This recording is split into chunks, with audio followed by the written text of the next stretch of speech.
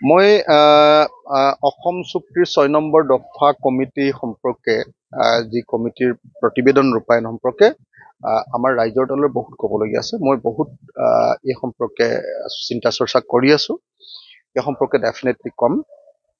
মই খালি আজিৰ দিনটোত এটা কথাই চমুকে ক'ব খোজো যে যদি সঁচাকে অসমক সাংবিধানিক ৰক্ষা কৱচ দিব লাগে তেতিয়াহ'লে ভাৰতৰ সংবিধানত এটাই ৰক্ষা কৱচ আছে ৰাজ্যবিলাকৰ সেইটো হ'ল থ্ৰী ছেভেণ্টি ওৱান এৰ পৰা থ্ৰী ছেভেণ্টি ওৱান জেৰ ভিতৰত থকা আৰ্টিকল কেইটা।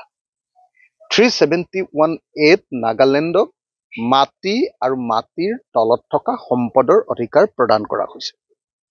সেইকাৰণে নাগালেণ্ডত গৈ বাহিৰৰ মানুহে মাটি কিনিব নোৱাৰে।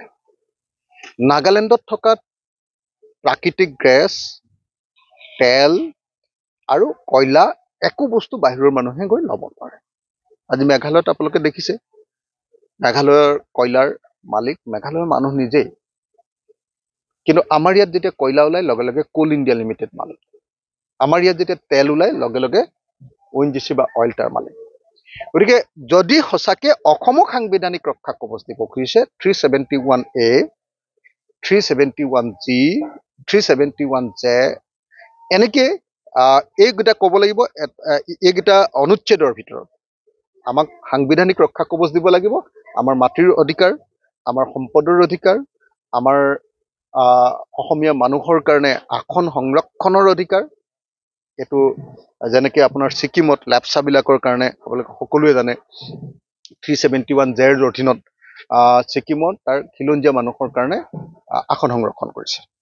ঠিক তেনেকে আমাৰ অসমৰো খিলঞ্জীয়া মানুহৰ কাৰণে আসন সংৰক্ষণৰ ব্যৱস্থা কৰিব পাৰে।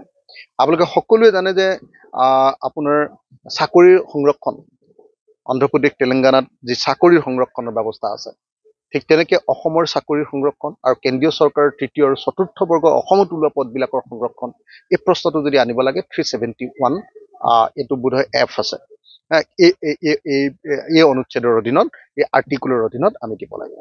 গতিকে সঁচাকে যদি সাংবিধানিক ৰক্ষা কৱচ আনিব লাগে তেতিয়াহ'লে কোনোবা সত্ৰ বা কোনোবা জ্যোতিষ চিত্ৰপণক অলপ পইচা দি নহয় সেইবিলাক কৰিব লাগে। কিন্তু যদি সাংবিধানিক ৰক্ষা কৱচ দিব লাগে অসমীয়া জাতিৰ ৰাজনৈতিক অধিকাৰ সুৰক্ষিত কৰিব লাগে সামাজিক অধিকাৰ সুৰক্ষিত কৰিব লাগে অৰ্থনৈতিক অধিকাৰ সুৰক্ষিত কৰিব লাগে তেতিয়াহ'লে থ্ৰী ভাৰতৰ সংবিধানৰ তিনিশ এসত্তৰ কৰ পৰা থ্ৰী ছেভেণ্টি ওৱান এৰ পৰা থ্ৰী ছেভেণ্টি ওৱান জেৰ ভিতৰত আমাক অন্তৰ্ভুক্ত কৰিব লাগে। আৰু যদি সেইটোত অন্তৰ্ভুক্ত কৰে তেতিয়াহ'লে অসমৰ ৰাইজে তেতিয়াহ'লে নিশ্চিতভাৱে অসমৰ ৰাইজে সাংবিধানিক ৰক্ষা কৱচ লাভ কৰিব। তাৰ বাহিৰে বেলেগ কোনো কথা পাতি থাকে। সদৌ অসম ছাত্ৰ সন্থাইও বেলেগ কোনো কথা পাতি থাকি একো লাভ নাই। যি কওক প্ৰতিবেদনত কি আছে নাছে সেইটো বেলেগ কথা। যদি সাংবিধানিক ৰক্ষা কৱচ এটা জাতিক এখন ৰাজ্যক দিব লাগে তেতিয়াহ'লে ভাৰতৰ সংবিধানৰ তিনিশ এসত্তৰ কৰ পৰা থ্ৰী ছেভেণ্টি ওৱান এৰ পৰা জেৰ ভিতৰত দিব লাগে। আৰু নহ'লে আৰু এটা আছিলে three seventy article three seventy সেইটো ইতিমধ্যে কাশ্মীৰৰ ক্ষেত্ৰত জম্মু কাশ্মীৰৰ ক্ষেত্ৰত আছিলে নাইকিয়া কৰি দিলে। গতিকে সেইটোৱে সাংবিধানিক ৰক্ষা কৱচ দিবই নোৱাৰে সংবিধানত নাই এতিয়া। এতিয়া সংবিধানত ৰাজ্যৰ কাৰণে থকা অধিকাৰবিলাক হ'ল থ্ৰী ছেভেণ্টি ওৱান এৰ পৰা থ্ৰী ছেভেণ্টি ওৱান জেৰ ভিতৰত। যদি এইকেইটা লাভ কৰোঁ তেতিয়াহ'লে জানিব যে অসমৰ কাৰণে কিবা পালোঁ। নহ'লে সত্ৰত অলপ পইচা জ্যোতিষিত্ৰবনত অলপ পইচা কেইটামান অডিটৰিয়াম নিৰ্মাণ এইবিলাকৰ জৰিয়তে অসমীয়া জাতি কেতিয়াও সুৰক্ষিত হ'ব নোৱাৰে।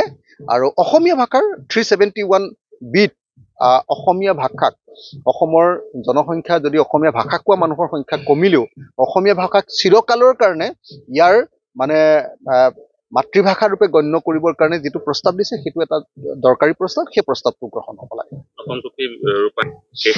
চব মিছা কথা অতুল বৰাৰ সমান মিছলীয়া মানুহটো পৃথিৱীত ক'ত আছে কওক? অসম গণ পৰিষদে তেওঁলোকৰ কাৰ্যকালত একোৱেই কৰিব নোৱাৰিলে। বিদেশী সমস্যাৰ সমাধানো কৰিব নোৱাৰিলে আৰু ছয় নম্বৰ দফাৰ ৰূপায়ণো কৰিব নোৱাৰিলে। তেওঁলোক এটা ফ্লপ পাৰ্টি তেওঁলোকে ফ্লপ গভমেণ্ট দিছিলে। অসম গণ পৰিষদ এটা ব্যৰ্থ দল আৰু এতিয়া সেইকাৰণে তেওঁলোকৰ ব্যৰ্থতা তেওঁলোক অসম গণ পৰিষদ বুলি বস্তুটো নায়েই আৰু এতিয়া। এতিয়াতো অসম গণ পৰিষদ নহয় এইটো বিজেপিৰ বি টিম।